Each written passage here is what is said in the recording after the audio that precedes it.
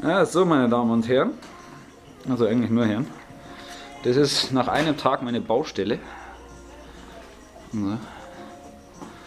Was aber alles total scheißegal ist, weil er nämlich das tut. Nach einem Tag bauen.